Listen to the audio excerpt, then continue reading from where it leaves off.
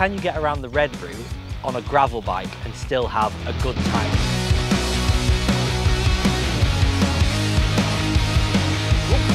Woo! Big send